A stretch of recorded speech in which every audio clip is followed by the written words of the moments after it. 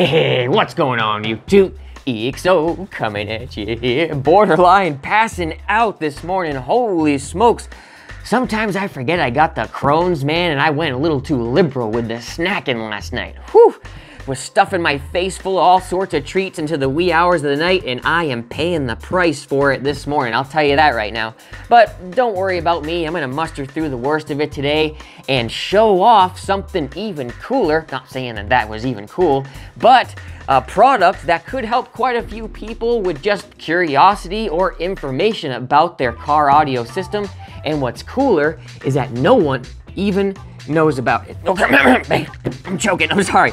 It's a secret little product that only a handful of people even know about, and there's certainly no YouTube videos about it yet. So today is the first debut of a good old sparked one-off. Check it out, guys. Just picked this up from Showtime, the store where I work down in Knoxville, and this is the very first production model of The Conductor. a ground distribution block that displays current. You can already let your mind wander with all sorts of useful applications for that, but today I'm gonna sh show off just one really cool one and bring you through the whole uh, gist of her.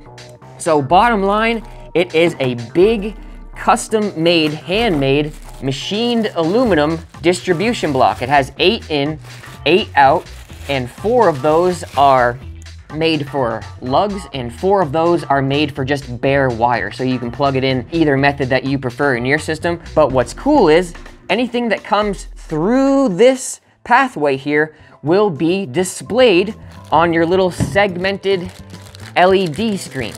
So instead of having like a clamp meter always installed in your system, you can actually have something like this mounted in your dash. Pretty sweet. So what could be handy for that? Maybe you had a couple alternators that you want to monitor the current that's coming out of them because you wouldn't believe how many times I've come home from a show and there's at least three or four posts on Facebook after the show saying, oh man, I was running on one alt the whole show, or man, I was running on one amp the whole show, or they didn't realize that something was wrong and they weren't at full potential. So what's cool is if you were to use a device like this and wire it in line with say your alternators, let's do that example first, uh, you would be able to see what your output is. So say if you're like, oh man, I'm at, I'm at 12.5, well maybe you're at 12.5 because you're pulling 300 amps. But what if you were at 12.5 only pulling 30 amps? That could be indicative of a bad cell, a bad connection, or heck, even an alt that's about to the bed. Otherwise, you would have like no idea of that actually occurring if you didn't monitor it 24 seven.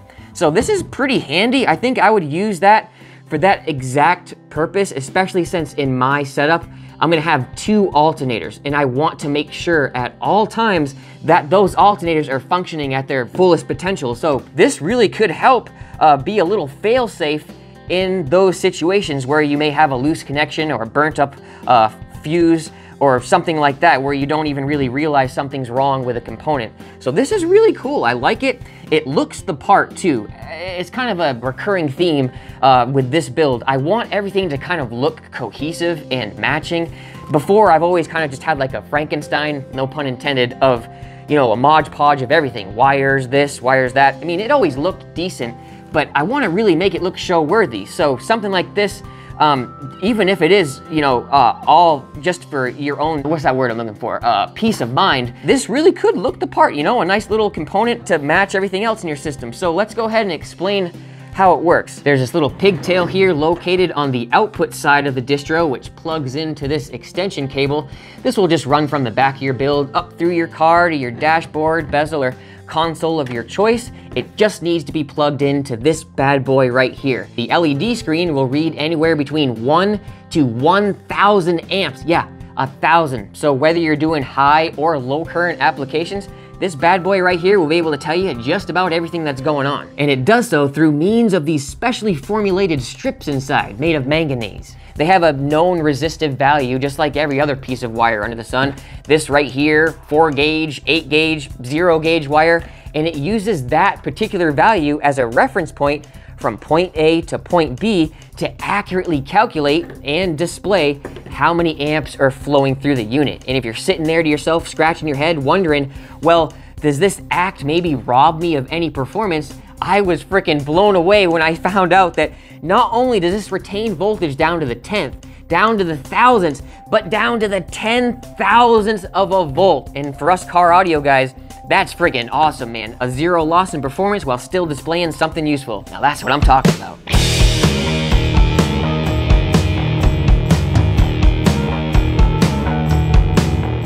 All right, let's go ahead and do a quick little demonstration here. We got an Incriminator Audio 18 that I stole from down at the shop. Shh, don't tell anyone. Nah, I'm just kidding. But Remy actually just called me from down there and let me know we got a whole heap and pile of these bad boys coming. So if you're liking what you see, be sure to check out Showtime for all the goodies that you may need. We got the benchtop battery grounded through the inputs and outputs of the conductor into our good old dusty trusty amplifier.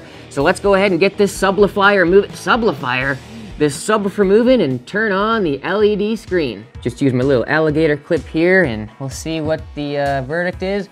All right, looks like the idle draw of this amplifier is right around four amps. We're at uh, 3.96. That makes sense. There's a fan in this. It's humming right away. So let's go ahead and see what the refresh time is. That's one of my biggest curiosities of this is how fast it refreshes. See if we can fluctuate these numbers a little bit. 10 amps. I'm gonna I'm gonna jump up pretty fast, see what the refresh is like.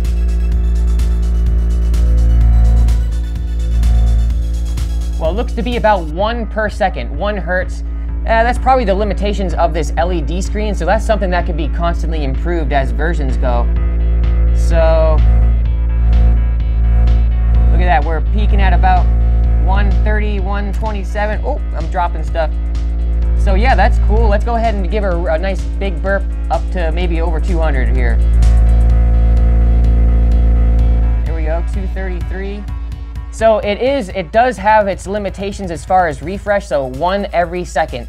So if you're looking to have like, you know, minuscule readings, you'll probably have to wait for V2, but this is still really helpful for a lot of people. So there we go. I'm gonna give it as much as she can. I'm gonna go full bore here I'm gonna go into a, a nice soft clip and see uh, how much at four ohms. I mean, this is, you know, uh, we're pushing this amplifier, so we're at four ohms. Let's see what we got here. Oh man, I, we definitely are clipping there. Did you hear it?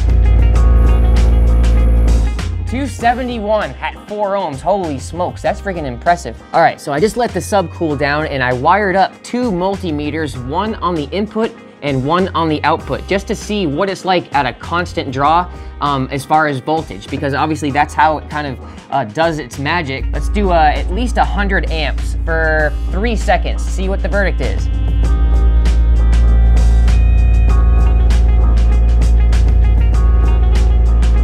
Looks pretty good to me as you can see, both of these mirrors are reading the same. Obviously, they're not in a, you know, from the same batch. They're not gonna read exactly to the millisecond, but it was pretty much dead on perfect. Let's do it one more time. This is the input, this is the output. 85 amps, 12.9. Let's go a little higher. 130 amps, 12.6. And she's holding. So, as far as the car audio world is tenths you know, is where you don't need to worry about anything past the tenths place. And another thing I wanted to do real quick was show how this can be actually kind of fun to play with. I'm gonna play different frequencies and show, even at a constant volume, not changing the level of the bass whatsoever, how drastically everything varies, obviously because music is so dynamic. I'm gonna go to 50 amps and hold it. Get up to 50, right around 50, all right, right there. Now I'm just gonna bring the frequency down and, and look at how much it changes. It's incredible.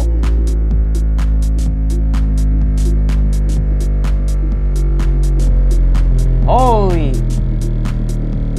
It already feels so much louder and crazier, but we're pulling less current. The whole table is shaking apart. I should probably hold this thing. It's getting even crazier to the ear, but we're pulling less power. Now we're down into 30 hertz. Holy smokes. Look at that. What? 11? Look how much the sub is moving and how like violent it is in the environment and how loud it sounds. but we're at the same volume. And it's just that those fluctuations, man, it's crazy. So that's really the a lot of the fun part that I'm gonna be looking forward to. Like you'll be jamming along, you'll see the numbers fluctuating, even though the the bass may seem more impressive at lower numbers, the ear is so messed up. SPL is like the same way. What translates on the meter doesn't always translate to the ear. And so it's kind of strange to see that translated into numbers. So there we go. Just wanted to change things up a little bit today, showing off something that I'm really looking forward to using in my personal rig. I've been trying to alternate videos between building the system itself and showing off the gear that's going inside it. So if you liked what you saw today, be sure to click the links in the description and use your coupon code EXO if you want to save a little bit of extra dough. Every little bit helps you, helps me, it helps everybody. Be on the lookout for the next build log too. I've gotten at least friggin' another two or 300 gigabytes already filmed. I'm just gonna let Christmas pass, go visit family, and I hope you're doing the same. I'm gonna eat some more treats, but I'm not gonna be getting crazy, man. I already learned my lesson, man, from last night. So uh, thanks for watching, guys, and doing all that YouTube stuff. I will talk to you guys after the holiday. Be safe and be happy. This is EXO signing out.